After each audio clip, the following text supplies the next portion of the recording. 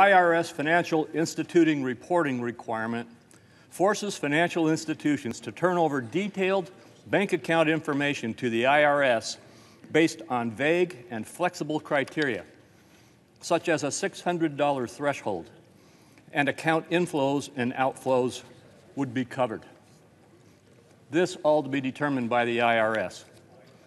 Think about that. It subjects every law abiding American who has a bank account or a credit union account in which they transact more than $600 worth of transactions to have that information monitored and reported to the IRS.